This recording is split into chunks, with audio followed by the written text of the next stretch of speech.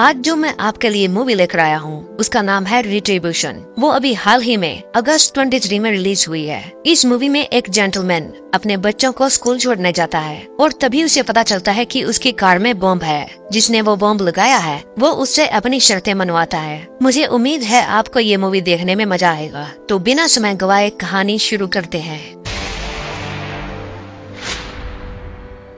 ये है मैट ये नानाइट कैपिटल्स का मालिक है। ये बर्लिन में रहता है। तभी उसके पास उसके पार्टनर का फ़ोन आता है। और वो कहता है कि कार्स को शेयर मार्केट में लॉस हुआ है। वो अपना बाकी रुपया निकालना चाहता है। उसे एक बार कॉल कर लो। वो कहता है कि घर से निकलते समय करूँगा। फिर जब वो रेडी होने के लिए घर जाता है तो उसकी वाइफ हैदर उसे कहती है कि आज जैक और एमिली को स्कूल छोड़ देना। मुझे कहीं जाना है। फिर वो अपने बेटे को कहता है कि क्या आज तुम स्कूल स्किप कर सकते हो? मुझे कुछ ज़रूरी काम है। जैक मना कर देता है। और पैदल ही स्कूल जाने लगता है। फिर मैट एमिली को लेकर अपनी मर्सिडीज कार में जाता है। और जैसे ही वो सीट पर बैठता है, सीट का प्रेशर डिटेक्ट हो जाता है। फिर उसकी कार में अनवांटेड नोटिफिकेशन आने शुरू हो जाते हैं। फिर वो कार को लेकर वहाँ से निकलता है और अपने बेटे जैक को कार में बैठने के लिए कहता है। उसके बाद वो अपने क्लाइंट को फ़ोन करता है। उसका क्लाइंट कहता है की मुझे रातों रात थ्री मिलियन यूरो का लॉस हो गया है। मैं अपने बाकी पैसे निकलवा रहा हूँ। फिर मैं तुझे समझाता है कि जीवन में उतार चढ़ाव आते ही रहते हैं। कभी हौसला नहीं हारना चाहिए। एक पंजाबी कहावत है, सरों का काटा सरों विच ही पूरा होएगा।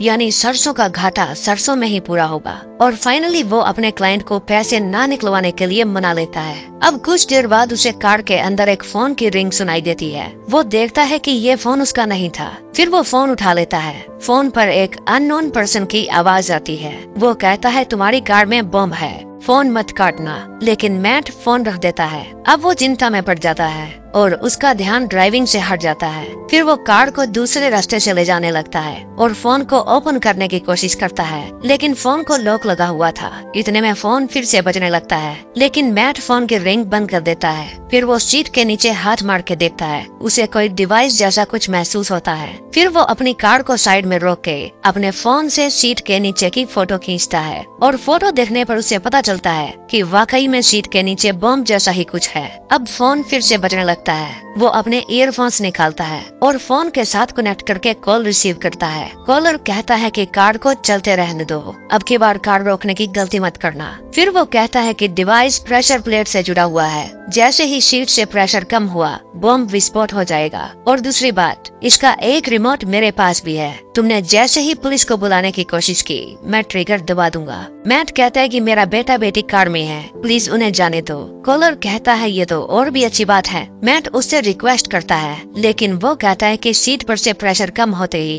कार फट जाएगी। तुम्हें बस मेरे एक दो काम करने होंगे, उसके बाद मैं तुम्हें छोड़ दूँगा। मैट कहता है कि अगर मैंने तुम्हारे साथ कुछ बुरा किया है, या मेरी वजह से तुम्हारा कोई लॉस हुआ हो तो मैं माफ़ी माँगता हूँ। इतने में उसके पार्टनर का फ़ोन आता है। मैट फ़ोन नहीं उठाता, फिर वो अपनी कार को गलत रास्ते मोड़ लेता है। कॉलर कहता है कि मैं तुम्हें देख रहा हूँ। मैट को अपने पीछे आने वाले एक बाइकर पर शक हो जाता है, क्योंकि मैट जिस तरफ़ भी कार मोड़ रहा था, वो बाइक वाला भी उसी तरफ़ आ रहा था। फिर मैट अचानक से कार की ब्रेक मारता है, और वो बाइकर गिर जाती है। फिर वो मैट पर चिल्लाने लगती है। लेकिन मैट समझ जाता है कि ये कोई और है, और वहाँ से निकल जाता है। फिर कॉलर कहता है कि अपना फ़ोन छोड़कर बाकी सभी फ़ोन कार से बाहर फेंक दो। मैट, जैक और एमली से उनका फ़ोन लेता है, और बाहर फेंक देता है। फिर कॉलर एक लोकेशन भेजता है, और मैट को वहाँ पहुँचने के लिए कहता है। तभी उसके तीसरे पार्टनर सेल्विन का फ़ोन आता है। वो भी मैट की ही तरह घबराया हुआ था। मैट कहते हैं कि शांत हो जाओ, और बताओ क्या हुआ है। वो बताता है कि मेरी कार में बॉम्ब है, और कॉलर ने बताया है कि ये तुम्हारी वजह से है। उसके साथ उसकी गर्लफ्रेंड भी थी,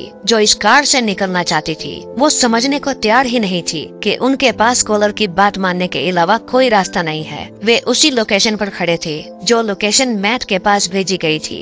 जब वो अपनी गर्लफ्रेंड को ज़बरदस्ती बिठा रहा था तो उन्हें एक पुलिस वाला देख लेता है। जैसे ही पुलिस वाला उनके पास आता है, लड़की कार को ओपन करके बाहर भाग जाती है और कार में विस्फोट हो जाता है। उस विस्फोट के कारण सेल्विन उसकी गर्लफ्रेंड और पुलिस वाला तीनों मारे जाते हैं। इस धमाके से मैट परेशान हो जाता है और अपनी कार को वहाँ से भगा ले जाता है। फिर वो कॉलर को कहता है कि तुम आखिर चाहते क्या हो? मुझे बताओ, इस तरह से जान लेना बंद करो। जैक पूछता है कि कौन है वो? मैट कहता है, मैं नहीं जानता। फिर कॉलर कहता है कि अपनी वाइफ को फ़ोन करो और उसे एआईजी बैंक में जाने को कहो। वहाँ आपका एक सिक्योरिटी बॉक्स है, उसे वो बॉक्स लाने को कहो। फिर मैट पूछता है, क्या तुम्हें पैसे चाहिए? कॉलर कहता है, ये समय सवाल करने का नहीं है। फिर मैट अपनी वाइफ हैदर को कॉल करता है। वो हैदर को बताता है की एक आदमी है, जिसने हमारी कार में बॉम्ब लगा दिया है। जैक और एमली भी मेरे ही साथ है। अगर हमने वो नहीं किया जो वो चाहता है तो वो ट्रिगर दबा देगा। हैदर कहती है कि मैं पुलिस को फ़ोन करती हूँ, लेकिन मैट ऐसा करने से मना कर देता है। फिर मैट कहता है कि एआईजी बैंक में जाओ और वहाँ से सेफ्टी डिपॉजिट बॉक्स लाओ, जो कि मेरे नाम से है। वे तुम्हें मुझसे बात करवाने को कहेंगे, तुम उनकी बात मुझसे करवा देना। फिर कॉलर कहता है कि जब तक तुम्हारी वाइफ बैंक जाती है, तुम कहीं भी अपनी कार पार करके आराम कर लो। फिर वो कॉलर के फ़ोन को साइलेंट कर देता है। उसका बेटा पूछता है कि पापा वो हमें मारने की कोशिश क्यों कर रहे हैं। आपने कुछ तो किया होगा, लेकिन मैट इनकार कर देता है। तभी उसकी वाइफ का फ़ोन आता है। और वो वापस कॉलर को अनम्यूट कर देता है। फिर वो कहता है कि मेरी वाइफ का फ़ोन आ रहा है। कॉलर कहता है कि उसे बैंक के बाहर मिलने को कहो। जब मैट कॉल उठाता है तो उसकी वाइफ उसकी बात मैनेजर से करवाती है। वो पूछता है, आपकी वाइफ सेफ्टी डिपॉजिट बॉक्स लेने आई है। क्या करना है सर मैट कहता है कि वो बॉक्स उसे दे दो। मैनेजर पासवर्ड पूछता है और मैट पासवर्ड बता देता है। फिर जब हैदर बैंक से बाहर आ जाती है तो मैट उसे इशारा करके अपने पास आने को कहता है। तभी कॉलर कहता है कि प्लान चेंज हो गया है। बैंक के पास जो नीला सूट पहने एक आदमी अकेला बैठा है। ये बैग उसके पास भिजवा दो। मैट ऐसा ही करता है। हैदर जैसे ही वो बैग उस आदमी के पास रखती है, वहाँ ढेर सारी पुलिस आ जाती है और उस आदमी को गिरफ़्तार कर लेती है। पुलिस वाले हैदर को भी पकड़ कर ले जाते हैं। फिर वे पुलिस वाले मैट के पास भी जाने लगते हैं और मैट कार को भगा लेता है। फिर वो कॉलर कहता है कि चिंता मत करो, पुलिस वालों को मैंने ही बुलाया था। मैट पूछता है कि ऐसा क्यों किया? कॉलर कहता है, हर सवाल का जवाब नहीं होता। तुम्हें क्या लगता है? मैं थोड़े सौ रुपयों के लिए काम करूँगा। मुझे तो दुबई में जो तुम्हारे अकाउंट में पड़े हैं 208 मिलियन यूरो, वो चाहिए। फिर वो एक और लोकेशन भेजता है और वहाँ आने के लिए कहता है, जब मैट वहाँ जा रहा था तो वो फ़ोन को म्यूट कर देता है और अपने बेटे जैक को बम की तस्वीर दिखा के पूछता है, क्या तुम्हें इसके अंदर फ़ोन जैसा कुछ दिखाई दे रहा है? जैक कहता है हाँ। फिर वो कहता है कि डैड अब तो आप टीवी में भी आ गए हैं। तभी उसके फ़ोन पर उसकी वाइफ की कॉल आती है। फ़ोन पर यूरोपॉल से एंजेला नाम की लेडी ऑफिसर बात कर रही थी। उसे लग रहा था कि ये सब कुछ मैट कर रहा है। लेकिन मैट कहता है कि मेरा यकीन मानो, मेरी कार में बॉम्ब है। फिर वो उससे पूछता है कि क्या आप यहाँ सेल फ़ोन सेवा बंद कर सकती हैं? क्योंकि ये बॉम्ब सेल फ़ोन से जुड़ा हुआ है। वो मना कर देती है। इतने में कॉलर की आवाज़ आती है। मैट हैदर वाली कॉल कट कर देता है। कॉलर कहता है कि जल्दी लोकेशन पर पहुंचो। फिर मैट उस लोकेशन पर पहुँच जाता है। वहाँ पटरी के दूसरी तरफ़ उसके पार्टनर एंड्रेस की कार खड़ी थी और उसकी कार में भी सेम टू सेम बॉम्ब लगाया हुआ था। और एंड्रेस को बताया गया था कि ये सब मैट के कारण हो रहा है। एंड्रेस मैट से माफ़ी माँगता है कि अगर मुझसे कोई भूल हुई है तो मुझे माफ़ कर दो, लेकिन जाने दो। कॉलर मैट को एंड्रस से अथोराइज लिक्विडेशन के लिए कहता है। फिर मैट एंड्रस को उसके लिए मनाता है। एंड्रस मैट की बात मान जाता है और अपने ज्वाइंट अकाउंट का सारा एक्सेस मैट को दे देता है और कहता है कि अब मुझे जाने दो। फिर मैट कॉलर को कहता है कि मेरे पास अकाउंट का एक्सेस आ गया है। अब मेरे पार्टनर को जाने दो। फिर कॉलर ग्लव बॉक्स में पड़ी गन को उठाने के लिए कहता है और एंड्रस को शूट करने का ऑर्डर देता है। मैट मना कर देता है और गन बाहर फेंक देता है। तभी उन दोनों के बीच में से एक ट्रेन गुजरती है और ट्रेन के जाने के तुरंत बाद एंड्रेस की कार में विस्फोट हो जाता है। फिर मैट वहाँ से भाग जाता है। अब उसके पीछे पुलिस पड़ जाती है। कॉलर उसे पैसा ट्रांसफ़र करने के लिए कहता है, लेकिन मैट ऐसा नहीं करता। मैट कहता है कि मैं जानता हूँ, तुम मुझे नहीं मार सकते। अगर मैं मर गया तो तुम्हें एक फूटी कोड़ी नहीं मिलेगी। फिर वो कार दुड़ाकर एक टनल में ले जाता है। टनल में जाते ही फ़ोन में नो सिग्नल आ जाता है और उसकी कॉल डिस्कनेक्ट हो जाती है। टनल से बाहर निकलते ही वो देखता है कि वहाँ पर पुलिस का बड़ा सा नाका लगा हुआ है और मैट वहाँ अपनी कार रोक देता है। सब लोग उसके ऊपर गन टान देते हैं। वो देखता है कि फ़ोन में अभी भी नो सिग्नल आ रहा है। अब हैदर भी वहाँ पर आ जाती है। फिर वो चिल्ला के कहता है कि मेरी कार में बॉम्ब है। क्या कोई हेल्प कर सकता है? वहाँ पर बॉम्ब स्क्वाड टीम भी आई हुई थी। वो अपना रोबोट भेजकर कार के नीचे चेक करते हैं। लेकिन कार के नीचे कुछ भी नहीं था। फिर ऑफिसर एंजेला मैट से बात करने के लिए आती है। मैट कहता है कि पहले जैक और एमली को कार से बाहर निकालो। ऑफिसर कहती है कि हम आपका सहयोग करने के लिए ही आए हैं। और आपसे भी उम्मीद करते हैं कि आप भी कोई बेवकूफ़ी भरा काम नहीं करेंगे। फिर बॉम्ब स्क्वाड की टीम कार की चारों विंडो चेक कर दी है। विंडो में ऐसा कुछ भी नहीं था, जिससे उन्हें कोई नुकसान पहुँचे। इसलिए वे कार के चारों दरवाजे उतारने लगते हैं। ऑफिसर बताती है कि हमने बर्लिन के सभी मोबाइल्स में कुछ देर के लिए सेवाएँ बंद कर दी है। फिर ऑफिसर पूछती है, ऐसा कैसे हो सकता है कि इतनी बड़ी कंपनी के एक ही दिन में दो मालिकों को मार दिया गया हो? और तीसरा बच जाए। तो आपका इतना सारा रुपया लेकर कहाँ जाने का प्लान है? मैट कहता है कि मैंने ऐसा कुछ भी नहीं किया।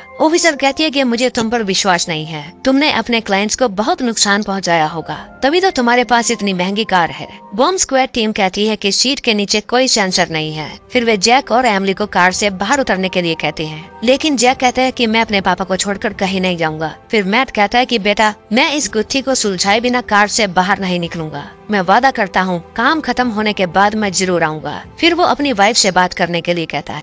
वो अपनी वाइफ को कहता है कि मैं तुमसे और बच्चों से बहुत प्यार करता हूँ। उसकी वाइफ खुद को पुलिस के हवाले करने के लिए कहती है। लेकिन वो कहता है कि मैं खुद को निर्दोष साबित करके ही रहूँगा। ऑफिसर कहती है कि हम उसे ढूंढ लेंगे। मैट कहता है, आपको मेरा विश्वास करना होगा। फिर वो वहाँ से कार भगा लेता है। ऑफिसर किसी को भी गोली न चलाने का ऑर्डर देती है। जब वो वहाँ से कार भगाता है तो उसके फ़ोन में सिग्नल भी आ जाता है। तभी उसके पास फिर से किलर का फ़ोन आता है। वो उसे पैसे ट्रांसफ़र करने के लिए कहता है। लेकिन मैट कहता है कि पैसे तो मैं तुमसे मिलकर ही दूँगा। वरना चाहो तो मुझे बम से उड़ा सकते हो। फिर वो मैट के पास लोकेशन भेजता है और उसे वहाँ आने के लिए कहता है। उस लोकेशन पर प्रोटेस्ट चल रहा था। मैट अपनी कार को साइड में पार्क कर देता है। तभी एक नकाब पोष बंदा गाड़ी में आकर बैठ जाता है। फिर वो कहता है कि मुझे लगता है हमें शांत जगह पर जाना चाहिए। फिर मैट एक शांत जगह पर अपनी कार रोक लेता है। फिर वो आदमी अपना नकाब हटाकर अपना चेहरा दिखाता है। वो कोई और नहीं, बल्कि मैट का पार्टनर एंड्रिस था।